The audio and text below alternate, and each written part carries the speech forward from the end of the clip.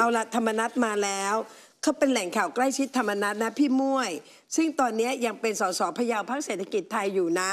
ธรรมนัตพูดถึงกระแสว่าธรรมนัตเนี่ยจะไปเปิดตัวกับพลังประชารัฐในการประชุมใหญ่วันที่ 27 คือพรุ่งนี้ ใช่ไหมธรรมนัตบอกว่าไม่จริงเลย การประชุมวันดังกล่าวนั้นธรรมนัตอะกับสสเศรษฐกิจไทย จะไม่ไปกับพลังประชารัฐจะยังไม่ไปเศรษฐกิจไทยก็จะไม่ยุบพักกิจกรรมของเศรษฐกิจไทยดำเนินต่อไป จนกระทั่งครบวาระรัฐบาล หรือมีการประกาศยุบสภาจึงค่อยตัดสินใจ การเมืองมันยังไม่นิ่ง แต่ไม่ว่าธรรมนัตจะอยู่พักไหนสามารถช่วยงานพลเอกประวิตยได้ เขาให้เธอช่วยหรือเปล่าธรรมนัตแสดงว่า